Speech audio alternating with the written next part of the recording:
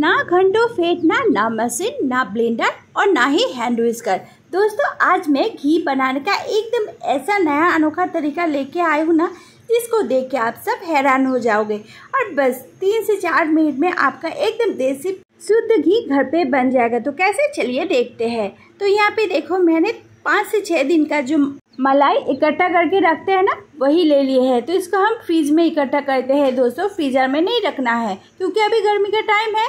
तो हम मलाई को ज़्यादा पुराना इकट्ठा करके नहीं रखते हैं। पाँच छः दिन या सात दिन की मलाई से घी बना लेते हैं। तो ये पाँच से छः दिन की मलाई है। बस इसी मलाई से हम ये जो ट्रिक है ना, इसको अप्लाई करेंगे और एकदम ढेरों सारा घी निकालेंगे। तो पहले ये जो मलाई है ना, इसको हम दूसरे परात में निकाल के ले लेंगे। पहले सारे मलाई को निकाल के ले लेना है। इसके बाद देखो, यहाँ पे जो हम रोटी चपाटी बनाते हैं ना, वही बेलन का आज हम यूज़ करेंगे। और इसी बेलन से अभी ये जो मलाई है ना, इसको एकदम अच्छे से मिक्स करेंगे। इसके जितने भी मोटे मोटे दाना है, सबको अच्छे से मिक्स करते हुए मेल्ट कर लेना है पहले। क्योंकि ये दाना जो है ना, ये बहुत ही हार्ड है, क्योंकि इसको हम फ्रीज में रखे थे और अभी इसको फ्रीज से निकाले हैं। तो इसीलिए ये बहुत ही अभी हार्ड और सख्त है। तो इसको पहले अच्छे से टूट के मिक्स कर लेना है।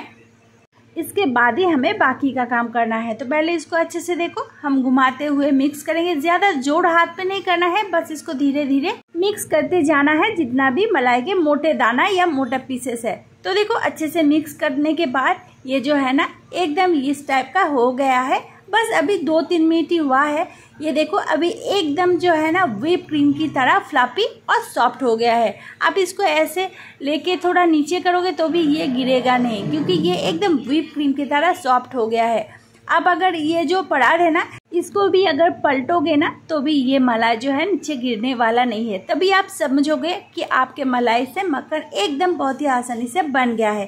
बस तीन से चार मिनट हमें लगे हैं अभी ये मक्खन को। निकालने के लिए। तो अभी कुछ नहीं करना है, इसमें हम ठंडा पानी डालेंगे। फ्रिज का ही ठंडा पानी डालना है। तो दो ग्लास के जितना हम इसमें फ्रिज का ठंडा पानी डाल देंगे। और ये जो मक्खन हमने बनाया है, इसको अच्छे से ठंडा पानी के संग मिक्स करेंगे। बेलन की सहायता से पहले इसको अच्छे से मिक्स कर लेंगे। और बेलन में भी जितना सारा मक्खन लगा हुआ है, वे सबको भी हम निकाल के ले लेंगे, क्योंकि वेस्ट थोड़ा सा भी करना नहीं है। तो अभी देखो, इसको क्या करेंगे? सारे जो मक्खन है ना, इसको इकट्ठा करेंगे और ये पानी के संग अच्छे से धो लेंगे, ताकि थोड़ा बहुत भी अगर स्मेल या बदबू रह जाए, वो निकल जाएगा। तो अच्छे से इसको पानी के संग धो लेंगे, मिक्स करते हुए और इकट्ठा करते हुए फिर सारे मक्खन को पानी से इकट्ठा कर लेंगे। आप देख सकते हो दोस्तों, ये जो मक्खन है ना, ये कैसे पानी में तैर रहा है। एकदम परफेक्ट हमारा मक्खन बन गया है। तो ये देखो, सारे मक्खन को हम इकट्ठा करके हाथ में ले लेंगे। दोस्तों, यहाँ पे और एक बात, ये जो मक्खन है ना, ये बॉल्स की तरह नहीं बनेगा, क्योंकि बॉल्स बनाने के लिए हमें ये मक्खन को और ज़्यादा फेंटने की ज़रूरत है। लेकिन हमें बॉल्स तो नहीं चाहिए, हमें मक्खन चाहिए, जिससे हम घी बनाएँगे। तो बॉल्स बने या ना बने, कोई बात नहीं। अगर आप बॉल्स बनाना चाहते हो तो ये मक्खन को और तीन चार मिनट के लिए फेंटो। तो आपका ये मक्खन का बॉल्स बन जाता है। तो देखो, पहले हम सारे ये मक्खन को इकट्ठा करते जाएँगे और हाथ में लेके दूसरे एक बर्तन में लेते जाएँगे। जितना भी बचा हुआ है लास्ट में, वो सबको ले लेंगे, क्योंकि थोड़ा सा भी वेस्ट करना नहीं है, क्योंकि घी जो है ना, बहुत ही महँगाई में मिलते हैं बाहर। अगर हम घर पे बनाते हैं तो उतना महँगाई पड़ते नहीं है। और ये जो छाछ है ना, घोल है ना लास्ट का, इसको आप ऐसे नमक डाल के पी पी भी सकती हो या फिर कोई सा सब्ज़ी में भी यूज़ कर सकते हो। तो देखो, एकदम व्हिप क्रीम के जैसा हमारा मक्खन बन के रेडी हो गया है। तो इसको अभी गैस की तरफ़ लेके चलते हैं। तो देखो, गैस के ऊपर हमने कढ़ाई को चढ़ा दिए है। अभी गैस का फ्लेम को भी हमने ऑन कर दिए है। और आप देख सकते हो धीरे धीरे साइड से जो है ना, मक्खन मेल्ट होना शुरू कर दिया है। तो पहले इसको थोड़ा मेल्ट कर लेते हैं।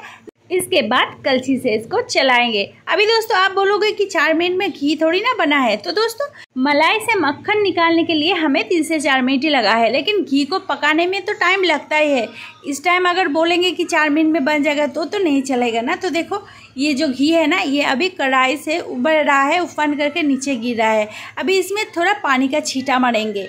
तो ये नीचे गिरेगा नहीं। पानी का छीटा को अच्छे से मिक्स करेंगे। मिक्स करने के बाद दोबारा इसमें और एक बार पानी का छीटा मार देंगे। ऐसा करने से क्या होता है दोस्तों, पता है? हमारा ये जो घी है ना, ये ठंडा होने के बाद एकदम दानेदार, रवादार जैसा हो जाता है। और दूसरी बात, ये उफान करके कढ़ाई से नीचे गिरता भी नहीं है। तो दोबारा पानी का छीटा मार दिए है।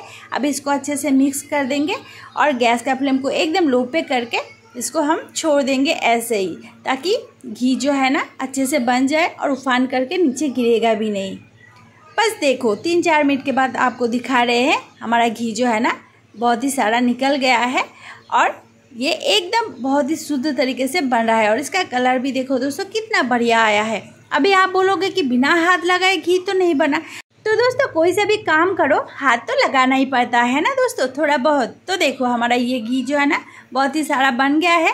अभी ये देखो, पूरा छः मिनट के बाद मैं आपको दिखा रही हूँ कितना सारा घी बन गया है।